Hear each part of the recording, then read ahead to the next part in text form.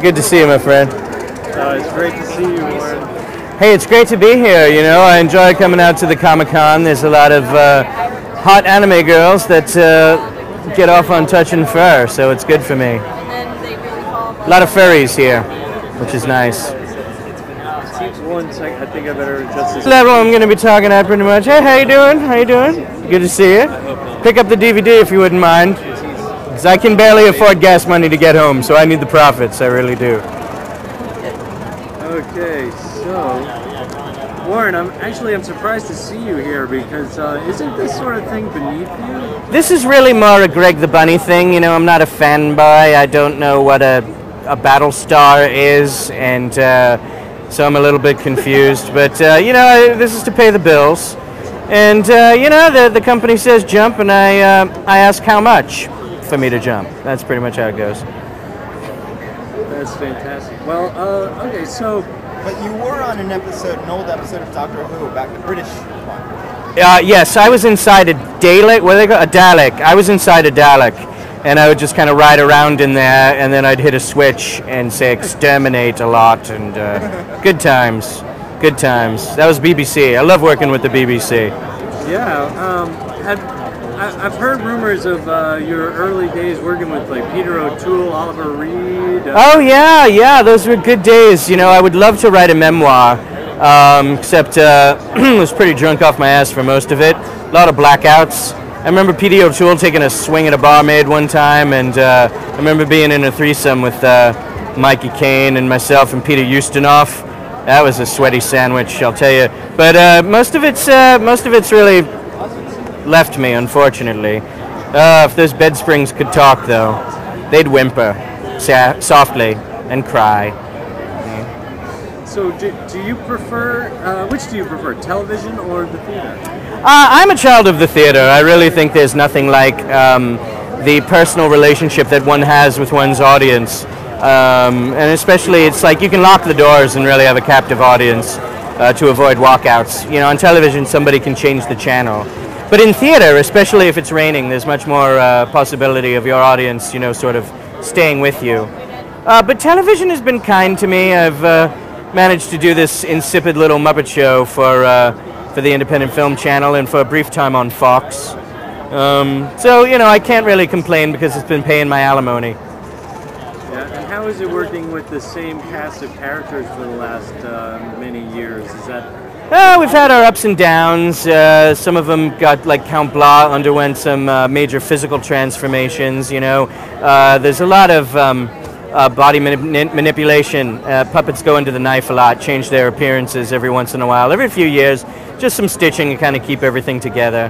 But I like working with the gang. You know, um, Count Blah, he's a good actor. I respect him. He's been in the business many years. He used to do the old horror Hammer films, uh, Ed Wood type stuff.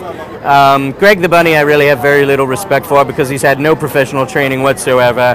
Uh, he gets by on acting like an idiot. You know, he blows his lines, and they say, "Oh, good print." You know, "Oh, brilliant, Greg. That was wonderful. Let's, uh, you know, let's use that. That's a keeper." And uh, you know, eh, with me, I could rehearse all day, and they're asking me to do it again. You know, can you do it again, Warren, and be funnier? Where Greg the Bunny just says, you know, he shows up late and he just bumps into something, and they say, "Oh, brilliant! It's a keeper." Ridiculous. The French probably love him. uh, well? What's been your favorite role to play? Uh, so I'm doing these movie parodies. One of my favorite roles? Yes. Uh, well, I, I enjoy performing in my own plays. Uh, I did one called uh, The Succubus, and uh, I did another called Postcards from the Shitstorm. That's probably one of my most popular. Uh, and I always play an extension of myself. Uh, I also enjoy Shakespeare. I do a mean Iago.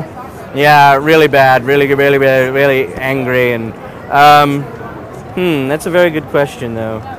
How do Some you choose your roles? uh, well, I have a very uh, rough screening process where my agent basically tells me what's available, and uh, if my uh, I don't have uh, Gamblers Anonymous that day, I just show up, and they pay. I choose my roles based upon what pays, frankly. I'll do just about anything these days.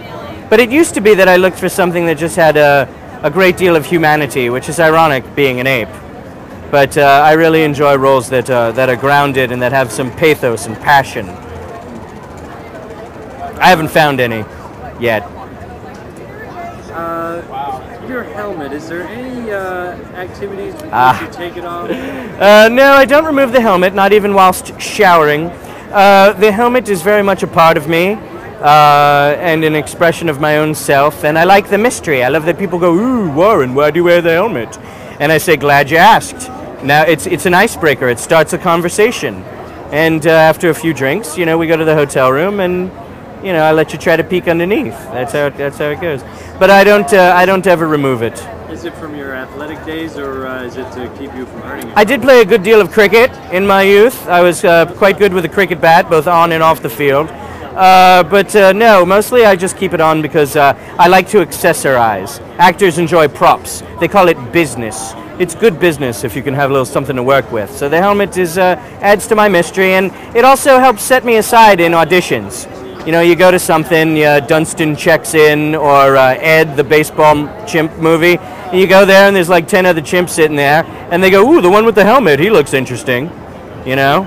It was that or a diaper. Is it tough for rapes in this business? Oh, yeah, terrible. Terrible. You're always being typecast, you know, they're always like, Oh, do you fling your own poop? And uh, yeah, it's really hard. Do you know sign language? You know, stuff like that. And uh, for me, you know, I just, I, again, I'm looking for roles that are, uh, for a lack of better word, have human appeal. And it's hard to find that. You know, King Kong, he climbs a tower, he, you know, falls down, dies, boring, not too good. Plus, see, I don't really do a lot of stunt work. And T Rexes have sharp teeth. Mm, so I didn't want to do that. Well, can you give us a little dirt uh, behind the scenes at Greg the Bunny? I know there must be some, uh, you know, some arguments, some.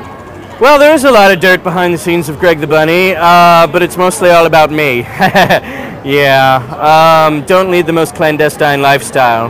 That's probably no secret. And uh, it's also no secret that I don't get along with Greg. I think he's a moron. And the guys seem to try to exploit that at every opportunity because they think it's comedy gold. Um, you know, but apparently Frank Sinatra hated Sammy Davis, and uh, apparently, um, you know, all the all the great comedy teams wanted to take each other's heads off. So I guess you need that kind of energy, you know, to make uh, to make chemistry work. Um, but yeah, it's true. It's not a happy place to be, and the place stinks. Every shot you're looking at, you guaranteed that Greg smells like bo and pudding. Yes, and what do you smell like?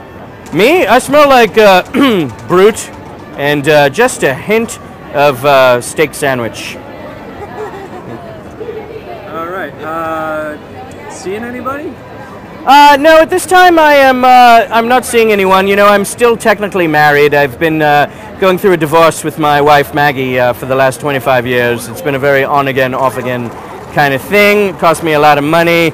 Uh, what can I say? We have a, a real debased passion, and every time it seems like we're going to break up, we find ourselves, you know, bumping uglies in a broom closet. so it's been difficult. Uh, but you know, whenever I can find a little starlet that I can I can have to myself, I have a little fun, and I like the professional ladies. Uh, damn shame of what happened to Heidi Fleiss. Real damn shame. Really screwed up a lot of us. Uh, me and Tom Sizemore used to sit there thinking, where are we gonna get our pussy from now? And it was it was difficult. But uh, you find ways to bounce back. Hey, Warren. Well, Thank you, Damon. It was a huge pleasure to meet you. I've been fan of yours for absolutely. Well, thank you so much. Absolutely my pleasure. It was very good to see you. Uh, where is this appearing exactly? Is this going to be on PBS or BBC One? Uh, Probot News, probotproductions.com. Maybe you're familiar with the website. Probot Uh, News, what the- collect toys? Toys.